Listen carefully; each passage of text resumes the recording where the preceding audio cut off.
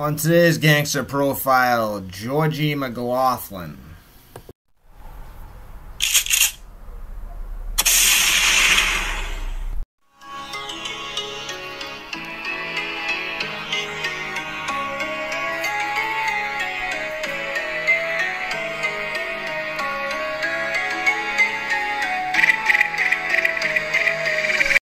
Georgie boy, oh Georgie boy. Georgie McLaughlin was the youngest brother of the vicious McLaughlin brothers who ran the Charlestown Rackets in the late 50s and early 60s. He also has the dubious distinction of sparking off the bloodiest gangland war in the city of Boston's history, the 1960s Boston Irish Gang War. Although starting this war by receiving a handful of beatings on Labor Day weekend, Georgie sat out most of the war in a jail cell charged with a murder that many say he did not commit. A jail cell was probably the safest place to be in Boston in the 1960s, where the life of a street hood was very cheap indeed. By the early 1900s, the higher class Irish townies lived on the top of the hills that dotted the Charlestown area. The McLaughlins lived right at the bottom of the hill, underneath the elevated rail system that kept the whole neighborhood in the shadow and kicked up black soot all day. A railroad clerk named Johnny McLaughlin and his rather large wife Annie lived in a three story wood tenement on Main Street. These houses were pretty common for the time for large Irish families. This was a time when Irish families would hold wakes for their dead family members right in their own parlor on the first floor of the family house. Drinks would be passed right above their dearly departed and old Irish songs sung. The McLaughlins had a respectable litter of six girls and five boys. This was pretty common size for Irish Catholic families in Boston at the time. Most of the gangsters that were involved in the 1960s gang war, like the McLaughlins, grew up in a time of extreme poverty and want. Not to mention the worldwide bloodbath that was World War II made death and, death and suffering kind of a trivial matter to this generation. I believe that's why a lot of these guys didn't hold a lot of value on the human being's life. The younger brothers, like Edward Punchy, Bernard Bernie, and Baby George, took to the streets and crime at a very early age. Other townie residents reflected, Those three boys were out on the street too much, even as young kids. Can't blame the parents, though. Raising a family 40 years ago was a rough job. A Boston cop wasn't quite so kind with his reflection, calling the brothers low, animal like cheap thieves and petty shoplifters. Georgie was a small guy with a baby face. He tried desperately to get into the Navy, but he couldn't make the weight requirement, so he ate endless amounts of mashed potatoes to gain entrance. But his Navy career was a disaster. After being court martialed, a psychiatrist declared Georgie possessed a psychopathic personality with marked aggressive traits. Kind of like how the paper later described him as, quote, a nut who would shoot his best friend if his back were turned. But later in life, his prison acquaintances would call him Gentleman Georgie. Who knows? Either way, on his return to Charlestown after the Navy, took right to a life of crime. Within a year, he found himself in Concord Reformatory for an armed assault. Georgie got a large tattoo of an eagle that went right across his whole chest to try to look intimidating. But at 5'5 and 156 pounds, he wasn't very physically imposing. One of his contemporaries said, He didn't have to be big. Georgie would cut your balls off as soon as look at you. When Georgie was on the streets, he worked as a laborer and a longshoreman. His older brothers used the cover as longshoremen to shake down the Union and control and pilfer the Charlestown waterfront in the 1950s. Although Georgie was listed on paper as a longshoreman, in actuality, the majority of the time Georgie was on the street, he was piss drunk. Unfortunately for Georgie McLaughlin, he was a vicious alcoholic. This is most likely the reason you get conflicting stories about his personality. This is very common with alcoholics and addicts, the whole Dr. Jekyll and Mr. Hyde thing. Some people remember Georgie as quiet and polite, would look similar to an altar boy, while others describe him as vicious and violent. Mostly likely, these were differing states of sobriety and intoxication. He spent the majority of his time on the streets in various Charlestown bars and taverns getting wasted. His brothers Bernie and Punchy were more heavily involved in the rackets and were more business minded. Georgie was their wild card. One of Georgie's best buddies was Townie Hood Harold Hannon, who once kidnapped the manager of roadside Howard Johnson's in order to try to steal $3,000. Hannon is most well known for being one of the most gruesome murders in the Irish gang war. His nude and badly tortured and beaten body was found floating in the Boston harbor after it was dumped there most likely by Winter Hill associates. Hannon and Georgie represented the crazy and unstable wing of a crazy and unstable gang. The FBI claims that these two committed mur- murders for hire for mobsters throughout the United States, but who knows the validity of anything the FBI says about the McLaughlins or of anything really, period. The Boston FBI office did not like the McLaughlins. Actually, agents Paul Rico and Dennis Condon hated them, especially Agent Rico. H. Paul Rico came from an affluent background and would have had absolutely nothing in common with the Charlestown McLaughlins. The unmarried bachelor Rico was rumored to enjoy the company of other men rather than females. There have been long standing rumors around the FBI and their stocking wearing director, J. Edgar Hoover. It has been said that Hoover himself was a closeted homosexual and recruited other agents who, although seemed Christian and wholesome, were also closet cases themselves. The Charlestown guys somehow got a hold of this information and would joke about Rico's proclivities. This got back to Rico and it made him red hot. Agent Condon himself of Irish heritage and a lifelong resident of Charlestown probably just looked down at the McLaughlins like some sort of low-life towny trash. Either way, the two most prolific special agents in the city of Boston during the 1960s had no love for the Charlestown gang. Unfortunately, if nothing else, Georgie McLaughlin will always be known as the man who sparked off the notorious Boston Irish gang war of the 1960s. The obnoxiousness and depraved behavior of drunk George McLaughlin started something of a grand scale I bet nobody there that weekend would have ever believed such a thing was going to happen. George hopped in a car with someone and made his way to the seacoast town of Salisbury, Mass. Among the beachside cottages that are piled on top of each other at Salisbury Beach, many Bostonians would revel on such holiday weekends. I'm imagining Georgie hopping into someone's car and heading north of the city for the holiday. I'm sure soon after arriving in Salisbury Beach, Georgie became inebriated, and whoever he was probably there tried to lose him as soon as possible.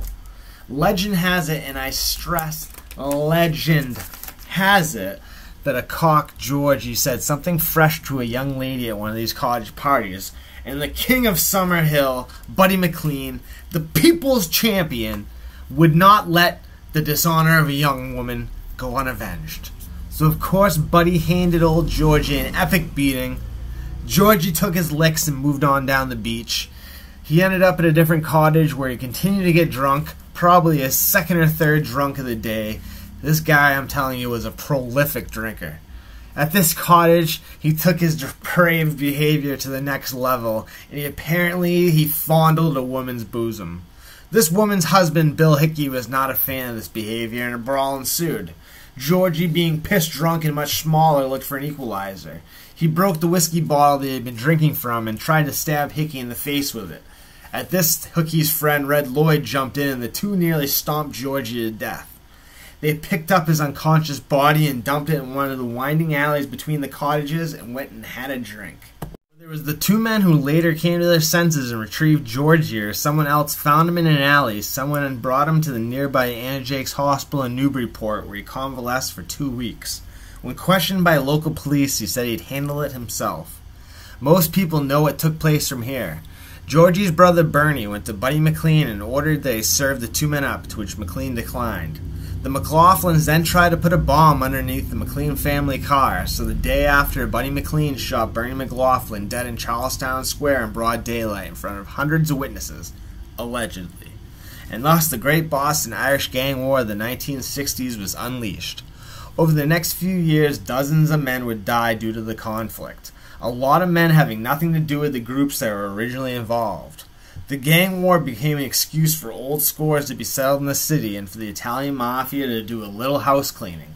Georgie, who was ultimately responsible for starting the war, missed most of it sitting in a prison cell. On March 15, 1964, at the Orchard Park Housing Projects, a party was being held by the Buckley family for a child's christening. Georgie was holed up with a 35 year old divorcee named Maureen Dellamano, who lived with her mother on the first floor of the Orchard Park Project apartment. After cruising around Boston with notorious hitman Elmer Trigger Burke, Georgie was laying low in Roxbury away from his Charlestown neighborhood. Up on the third floor, the Buckleys were having a party for a child's christening. I'm not sure why a child's christening is a reason for adults to drink till 11 o'clock at night, but that's probably where my parenting instincts differ from my parents and older generations. But anyhow, after 11 p.m., a 21 year old freckled faced young man named William Sheridan got into an argument with the host's aunt and left the party. A little bit after midnight, the party started to die down. Georgie tried to get one of the Buckleys to make a beer run, but he said it was too late and the party was over. Apparently, at that point, Georgie was aggravated and was trying to clear people out of the apartment and the hallway. Sheridan apparently returned and tried to apologize to the aunt, with one of the Buckleys telling him to do it later. This is where things get murky.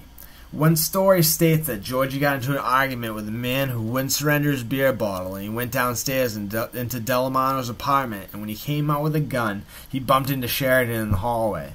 A supposed witness, a Marine, outside said that he saw Georgie say something to Sheridan before shout before shooting him in the head. Someone also reported that Maureen Dellamano came running upstairs yelling, Georgie shot someone! Get him out of here! People scattered out of the apartment building as Sheridan's body lay halfway out of the front door. Kids thinking someone was lighting off cherry bombs in the projects yelled, Woohoo! When police showed up in force, Georgie was long gone, and now he was public enemy on the run. Georgie would always say that he was innocent of this crime and he was the victim of a law enforcement setup. Georgie claimed that the bullet that killed Sheridan was actually meant for Georgie himself. He said that a sniper positioned himself in the parking lot of the Orchard Park housing projects and shot through an open door and struck Sheridan right between the eyes, missing Georgie. He claimed law enforcement knew this and they didn't care because they hated him and wanted him off the streets. The ballistics would point to Georgie's story being true. It would seem that Sheridan was killed by a long range shot instead of a close range gunshot. It is well known that the FBI and the BPD were notoriously corrupt in the 1960s and they could make crimes look any way they wanted them to.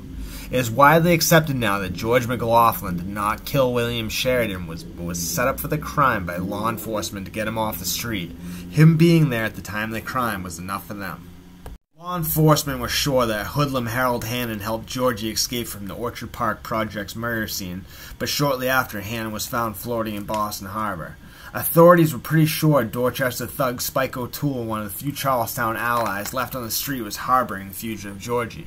When Spike was questioned at a cocktail lounge if he knew where Georgie was, he responded, I don't know the bum. After Spike and a hot 20 year old woman rented the second and third floors of a Dorchester triple decker, they began being surveilled. Dennis Condon and the FBI, through his informants, found Georgie before Winter Hill did, and the feds were ready to pounce. Agent Paul Rico, after hearing the McLaughlin gang's disparaging remarks about him on a wiretap, planned on executing Georgie upon arrest. He approached Cadillac Frank Salemme, who he was grooming for information, not intercourse, and asked him for a throwaway revolver that he could plant on McLaughlin after he killed him to make him look like he was armed. Salemme obliged. Rico stated, If I get the opportunity to bang Georgie McLaughlin, I'm gonna do it.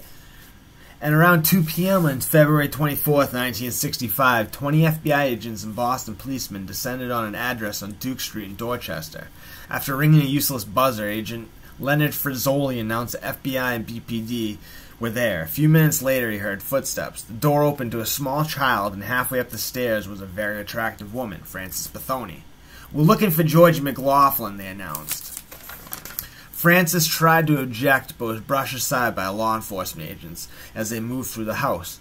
They already knew the layout of the building, and they moved towards the third floor attic where they believed McLaughlin was.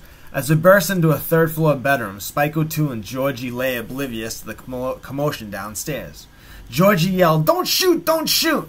He must have instinctively known that the agents wanted him dead. They forced the two gangsters to the floor and cuffed them, but for whatever bizarre FBI reason, they stripped Georgie down to his tidy whities and moved him out. Spike and Bethony, along with Georgie's girl, Maureen Dellamano, were arrested for harboring a fugitive and, and accessories after the fact of murder. Georgie kicked at reporters snapping pictures outside. He snarled, My name is George McLaughlin, and that's all I gotta say to yous. Rico came to the garage after the arrest and gloomily told Salemme four out of the five agents were on board with snuffing out Georgie, but because of one holdout, Rico could not go through with it but he kept the gun, Salemme noted. Georgie awaited his murder trial in the dilapidated medieval-style Charles Street jail. So bad were the jail's conditions that prisoners would admit to crimes they didn't commit just to get sentenced and moved to a different prison. Georgie was put in a cell in a secluded section of the jail because he was a high-profile prisoner. Out of fear, he barely left his cell. His living conditions were absolutely atrocious. His one-handed brother, Edward Punchy McLaughlin, who had already survived two murder attempts, would come every day to his brother's trial as a show of solidarity. The court was under heavy security, so Punch- Punchy felt secure when he was at the court, but was vulnerable coming and going. He had lost a hand during the second attempt on his life, and unfortunately for Punchy, he was caught at the West Roxbury bus stop coming to his brother's trial one morning and was brutally murdered. The trial was largely a farce, and the fix was in from the beginning. The prosecution produced witnesses, and the jury was convinced. George, who is unusually pale from his lack of sunlight, said only this I had a brother killed coming to this trial. I tell you, the shot that killed Sheridan was meant for me. When the verdict of guilty was announced, George just stared blankly ahead and squeezed Maureen Dellamano's hand, who was standing next to him. The judge asked if there was any reason why the death penalty should not be imposed. Georgie mumbled, I have no comment, to which the, the judge announced that he should suffer punishment by death. Shortly after his trial, Massachusetts abolished the death penalty, and George McLaughlin's death sentence was reduced to natural life without the possibility for parole. Whether or not George McLaughlin committed a crime he was imprisoned for, by being in prison he survived the Irish gang war. Both his brothers, along with the notorious Hughes brothers, were killed and their gang was wiped off the map. Thanks to the FBI and the Italian Mafia, the Winter Hill Gang won the gang war, and things in the Boston underworld would drastically change as a result. The man was responsible for all this and his drunken actions on one Labor Day weekend would outlive everyone else involved. George McLaughlin finally passed away in 2002 in the Mass State prison system. He spent most of his prison sentence at MCI Norfolk in relative peace and quiet. I always felt like Georgie got a raw deal, but who knows, maybe he was content in prison. If you like this video, hit that old like button. Subscribe if you're not already. I forgive you for such transgressions. Comment, make requests, but most importantly, folks, and this is non negotiable. Take good care of yourselves and have a great day.